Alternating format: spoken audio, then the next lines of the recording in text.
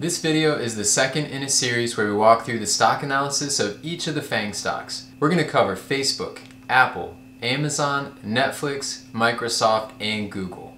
Today we're going to talk about our analysis of Netflix. Netflix is one of the world's leading entertainment services with 222 million paid memberships in over 190 countries, enjoying TV series, documentaries, feature films, and mobile games across a wide variety of genres and languages. Members can watch as much as they want, anytime, anywhere, on any internet connected device. Subscribers can also play, pause, and resume watching all without commercials or commitments. Netflix has received over 800 award nominations and over 250 awards for its original content. Netflix revealed that it gained an additional 16 million subscribers in the first quarter of 2020 as billions of people around the world were forced into quarantine and social distancing. Netflix single-handedly accounts for 10% of the downstream internet traffic worldwide and it's willing to pay $20 million per hour for original content. First quarter earnings highlights. They had a 10% revenue growth in Q1 2022. Operating income of 2 billion was above the beginning of quarter forecast of 1.8 billion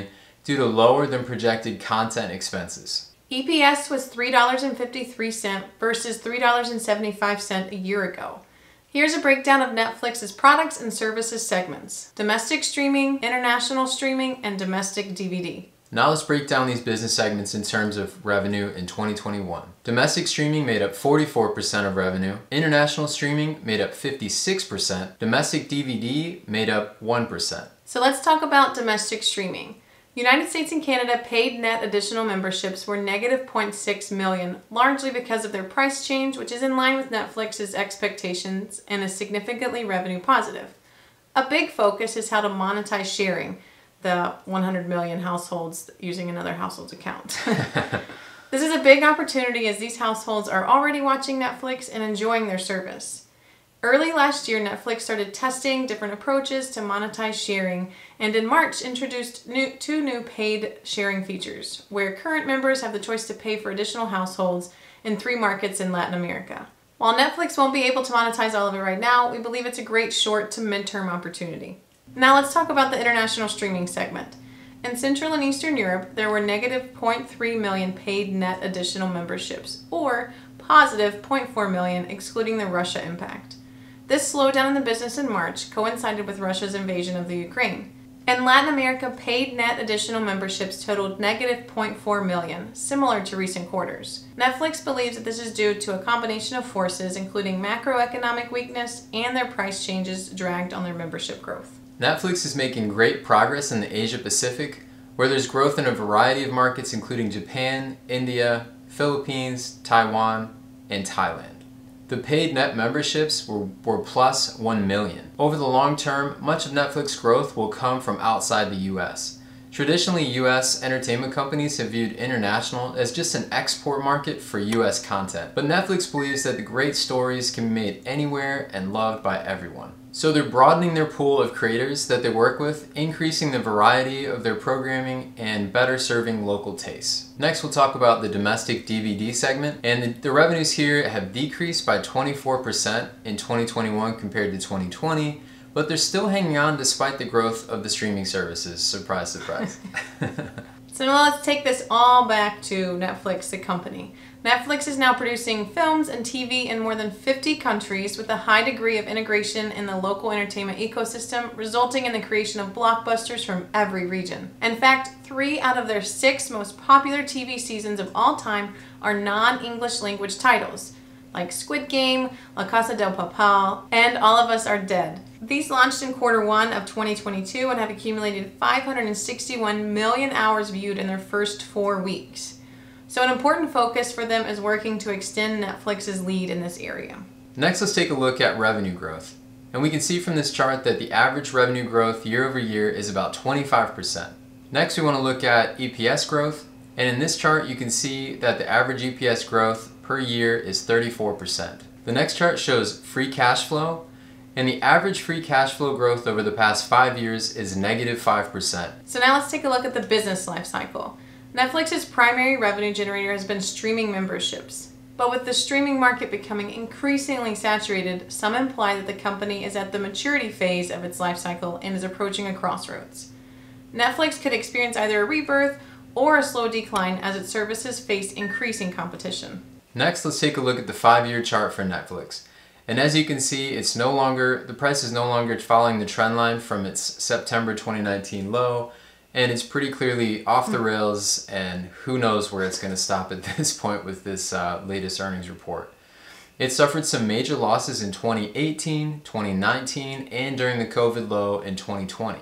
And now it's actually at a 70% drop from its previous all time high, where it was also up 176% from its September 2019 low. Mm. So it's had quite the ride and quite a bit ride. of volatility over the past several years.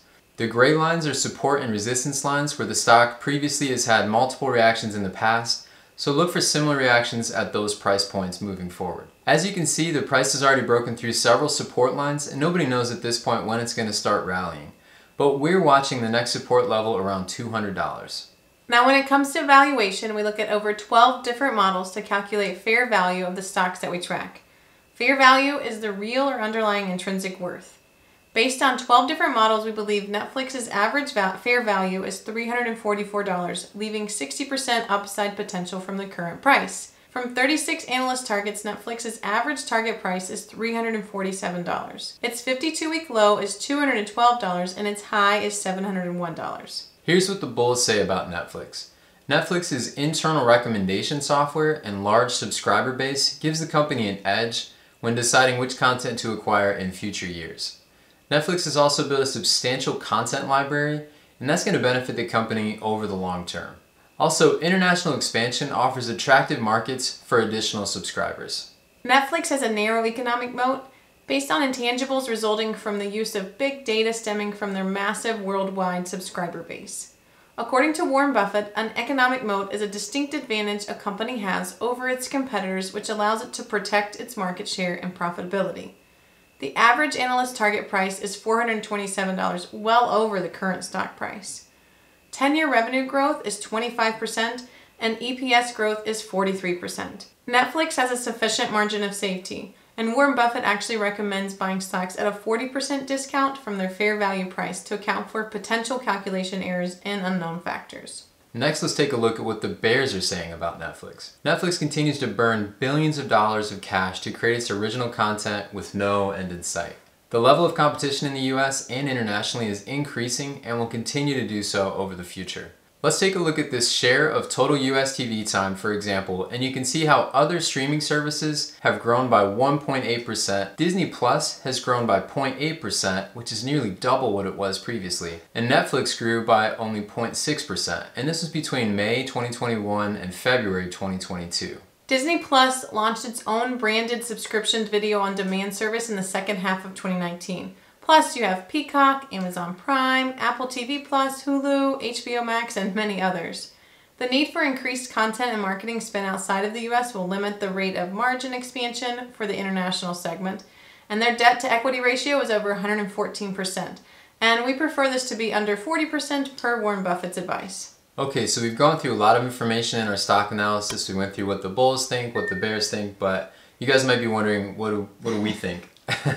we currently own Netflix stock and we added to our position, especially when it dropped the mm-hmm. 35% after the most recent earnings report. While we agree with some of the points that the bears are making, we still like Netflix as a long-term investment and we're excited about the international growth potential that we talked about that lies mm-hmm. ahead in the future for it. With the addition of competitors like Disney Plus, especially and other streaming services, we did decide uh, back when Disney Plus was first launching, we did decide to reduce our overall planned allocation for, for Netflix just because of those competitors, specifically Disney coming mm-hmm. up. Um, and then as we went through how fast Disney Plus is growing, that kind of just yeah. makes our point. Yeah. Um, Amber and I do personally like Netflix. We like Disney Plus too, watching that original content. Um, and we do watch it as often as we can with three kids. And we have five. followed it since you could order oh, DVDs that, yeah, online. that's right. It was funny when we were doing the research uh, for this video. We were re- reminiscing about the DVDs and how that was originally how Netflix started, and we actually started off with that.